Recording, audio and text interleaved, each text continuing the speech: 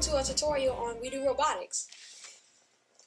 We're going to show you how to build and program the alligator. You can follow the same step to build any of the WeDo robots you want. It really isn't hard, we'll show you how we do it. It only takes a minute, no there's really nothing to it. We're the Goonies and the Goonies never stay tired. No, we don't. Uh-uh. Today we'll build the gator with the motor and some pulleys. We'll put our heads together, yeah, we're smarter than the bullies. We're the Goonies and the Goonies never stay tired. These are all the pieces you will need to build this model. Don't worry, you don't have to memorize all these pieces. And this is what your alligator will look like when it's done. When you open the WeDo software, this is where you'll find the step-by-step building instructions. Choose the model you want to build and watch the video if you want, and then follow the step-by-step directions on the screen by clicking on the forward or back buttons. This one takes you to the next step, and this one takes you back a step. So, here's how you build it.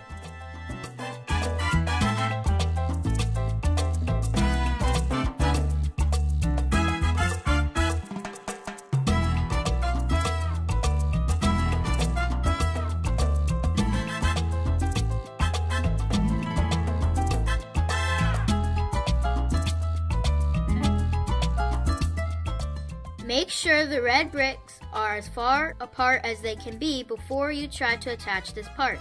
It should look like this.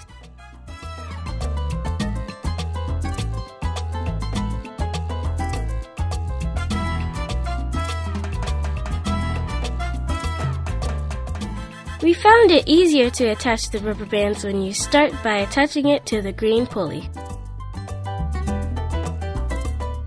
This is how it looks once you've built it.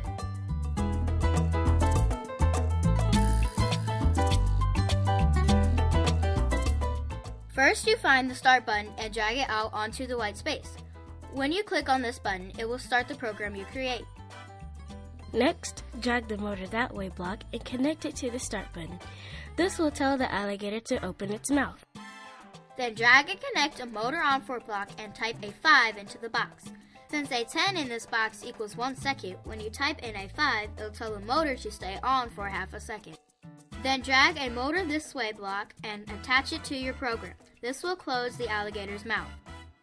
Finally, drag a motor on for block and type a 5 into the box to tell the motor to be on for just a half a second. This simple program will make the alligator's mouth open and close. Once it's plugged in, press the start button and your alligator will open and close its mouth. Now, this is the motion sensor. It detects the motion of any objects within 15 centimeters or 6 inches. If you put a wait block at the beginning of the program with a motion sensor attached, you should be able to put your finger in the alligator's mouth, and the alligator's mouth will close on your finger.